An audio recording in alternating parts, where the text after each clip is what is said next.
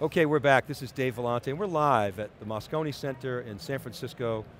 This is theCUBE, we're at Oracle Open World. Uh, this is our third year here, and this is the Oracle Backup and Recovery Spotlight. And we're going to drill into uh, some of the trends that are going on in the industry. Uh, we just set up uh, the overall sort of market angle and the technical angle, some of the things that Oracle practitioners should, should think about. And to have this next conversation, I'm here with Shane Jackson and Mel Shum of EM, EMC's BRS division. Shane is the, the vice president of the division, uh, and, and Mel is a, a database expert. Mel's uh, been on theCUBE before. We had him on last year at Oracle Open World, and we can drill into some of the technical aspects. So gentlemen, welcome. Thank you, Dave. Thanks, good to Dave. be here. So good to see you guys again. Uh, you know, we're here at Oracle Open World. It's amazing just to see the transformation of, of Oracle. I know, Shane, you live out in the Valley and you've Do. seen Oracle. You, you knew Sun Microsystems well. I don't know, Mhm. Mel, if you're out here as well, but Yes, yes to, to predict that Oracle would be here as a, uh, you know, a hardware company, talking about all this cool hardware, you know, Mhm. really a software company doing that. I never could have predicted that, but it's quite amazing transformation, isn't it? They've definitely transformed in that way. Yeah, so at the same time, it's become a, a different animal to compete with. I mean, it's, uh, you know, we are at VMworld last month. It's all about the ecosystem. Mhm. There's a big ecosystem here, but there's a, there's a different vibe. But um, so let's talk about backup specifically. It's a critical topic for uh, Oracle DBAs. It's a complicated one. Um, and if you mess up your backup in Oracle, you're in deep trouble because you're Mhm. running your business on it. So Shane, I wonder if you could start just, just by talking about some of the trends that you're seeing in your business and mm-hmm. how things have evolved over the last couple of years. Yeah, absolutely. I mean, it's an interesting point you make about uh, Oracle and the competitive nature, but uh, they're a very close partner in the way, in the sense that our top use case for our backup and recovery solutions is for databases. And it points right back to the criticality that you just talked about where if you mess up the backup of that, it makes an impact on your business, right? Not just your ability to get a backup done or recovery done from the previous night, but it actually has a downstream effect on the ability for people to do work and for the company to make revenue. And so that's really where we've been focused in EMC's Backup and Recovery Systems division is on uh, things around recoverability, right? And it's the thing that's the old adage about backup, it's not about backup, it's about the recovery. So obviously recoverability is important. Um, doing that efficiently, so you need to bring some efficiencies into the mix in order to advance the cost and reduce the cost that it takes to get this done. Uh, when you it, contrast that against the, how quickly data is growing, uh, it's like a tractor pull. That's, you know, the, the further you go down the track, the more the data weighs down on you, the harder it is to get the job done around backup. So efficiency has to be in the mix.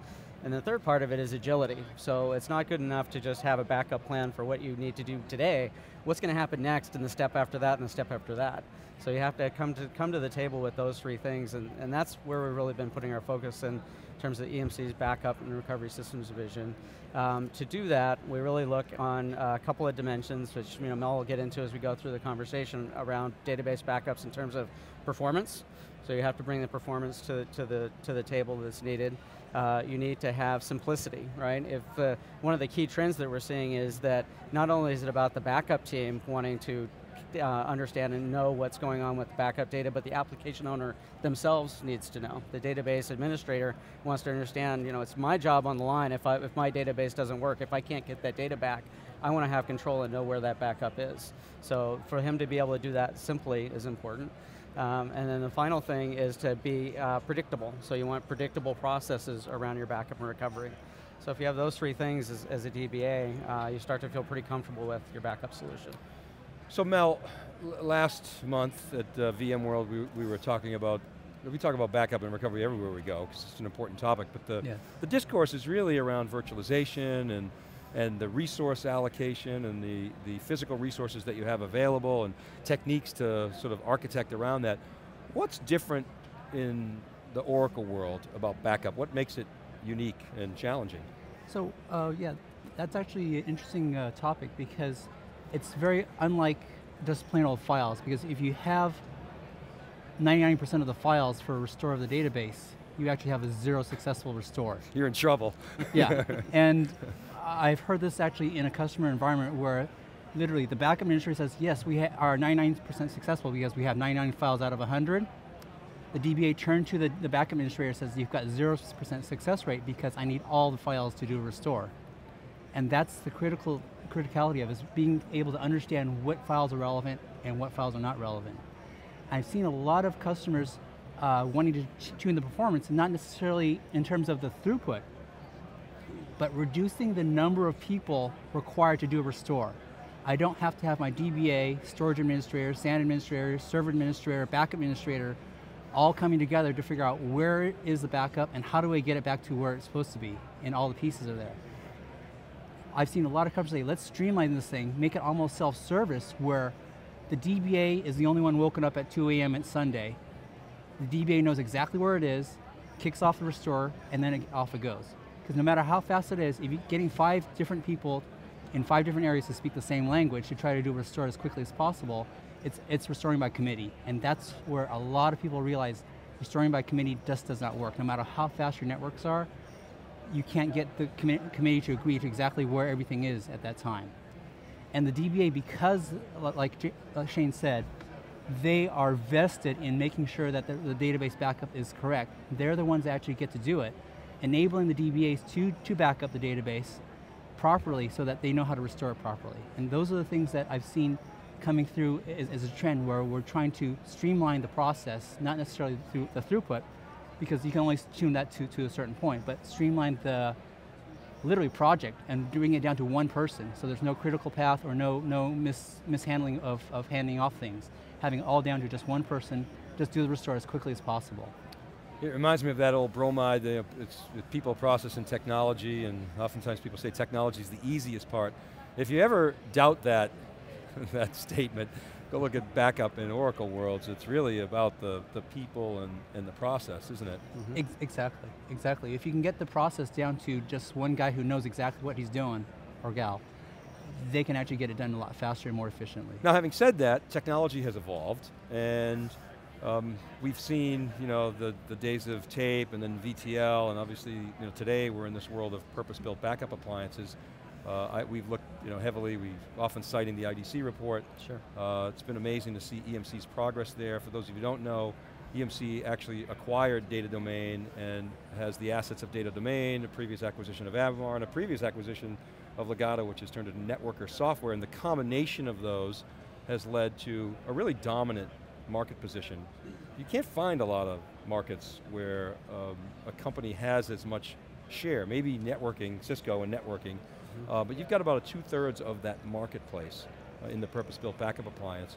Um, how were you able to achieve that? How important is Oracle you know, markets to that you know, dominance and can you maintain it? I think the way we achieved that is that EMC, at the time of the data domain acquisition, made a strategic decision to break out a business unit focused wholly on backup and recovery. So that division has grown over time. We're uh, over three years in now, and we've got over 4,000 people uh, in that division that wake up every day thinking about only backup and recovery. So if you look across other industry players, you're probably hard pressed to find anybody else that's that, that mass uh, stacked up against this problem, which as you look at the different data from IDC, and, and you guys have talked about it, uh, backup is showing up more and more as a top priority for even the executive IT members of companies. You know, back when I got into backup, it was about, I was in the tape business, and you bought your servers, you bought your storage, and whatever money left over, you bought some tape drives and some robotics, right? It's completely changed because they're now seeing that the backup process can stall things like virtualization. It can stall what you're doing uh, and your business objectives around Oracle and databases and whatnot. So it's much more at the forefront on how companies are looking at where they're going to make their investments. So the combination of having the focus within EMC uh, on backup and recovery and the industry changes such that uh, a, the old method of just having backup software pointed to a tape drive is, is far from adequate, as has been well proven. How has, um, how have you changed? Because Shane, you came from, uh, through the acquisition of Data Domain, mm -hmm. and you guys did a great job of really focusing on cutting costs, the, the, the dedupe rates that you were going to achieve, predicting those dedupe rates, and really re essentially replacing tape as the primary backup medium. Mm -hmm. How has your um, messaging and conversations with customers changed um, over the last couple of years? Yeah, in interesting question. We were actually just joking as we were preparing for the show, uh, one of our sessions uh, where we're talking a lot about Data Domain and Oracle backup. Some of the slides in that deck were around in 2004.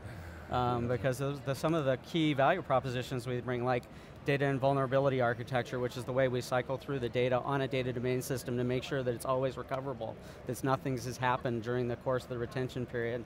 Uh, our stream-informed segment layout technology, which makes us very fast in the way that we interoperate with the disk, which gives us our performance advantages. Those are key advantages that, that we've had throughout and that still remain un, unmatched. What, what has changed over time is the interaction with the users of the, the ultimate users of the backup. So if you go back to data domain days, it was purely about the partner ecosystem. So how do we work with Symantec and the, the rest of the uh, backup partners? And now the focus has shifted much more to the application owners. So what is the Oracle DBA, how do they do their backup? What does that mean in interfacing with EMC backup and recovery products through something like Oracle RMAN? How does the VMware administrator interact with our products, the storage administrator, and right on down the line. So if you look at where we're going with our products, it's less about just the backup administrators use of the technology, but the whole application users interaction with it and their ability to see and understand what's going on in the environment. Now, um, your CTO of your division, Stephen Manley's been on theCUBE, and mm -hmm. he, at EMC World this year, laid out this new vision mm -hmm. of sort of, you know, essentially taking space efficient snapshots uh, locally, uh, and then you know, asynchronously moving the data offsite for disaster recovery, um, a, a, new way of thinking about backup. We, we, called it the time machine for the enterprise, the Apple time machine mm -hmm. sort of idea. You know, being able to dial up or dial down your your uh, your your RPO and and different approach. Mm -hmm. um, so, Shane, I wonder if you could sort of talk about that vision, just mm -hmm. briefly, you know, where you're at, you know, what your thoughts are there, and, and then Mel, I want to ask you how it plays in the Oracle environment. Yes, okay. so, so briefly, it maps basically right back into what I just said, and the, the ultimate goal is to have a consolidated uh, layer of protection storage. So what happens when you have the different application owners starting to care about how they do backup, they start creating silos of storage where they're directing those backups, and all of a sudden, from the top of the organization looking down, you don't have visibility into where are the backups, am I in compliance, you know, the things that a CIO would worry about. So the goal of what Man, Stephen Manley was talking about is getting to that uh, protection storage where all of those different interfaces right to that cons single consolidated backend once you have that and the capabilities for those application owners and their applications to be aware of that storage, then you can start to do the things like the snapshotting technology uh, that Stephen was referring to in his, in his keynote. But so Mel, what's your prognosis for how that's going to play in the Oracle environment and sure. where does it fit? So, so from uh, uh, Oracle DBA's point of view, uh, what we do is provide a facility for self-service. So being able to do your own backups and own recoveries without any intervention but there still needs to be an element of a backup administrator there to monitor to make sure things don't fill up, things, jobs actually run well. So there's ability for them to oversee all the DBAs, uh, VMware administrators, and all the other ones to make sure jobs are done successfully.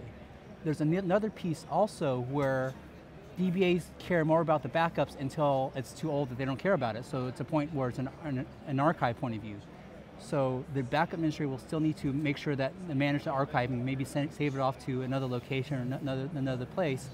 But once the, D, the DBAs are pretty much through with the backup, it's, let's say it's 30 days, 60 days, 90 days old, they don't really care too much about the backup at that point.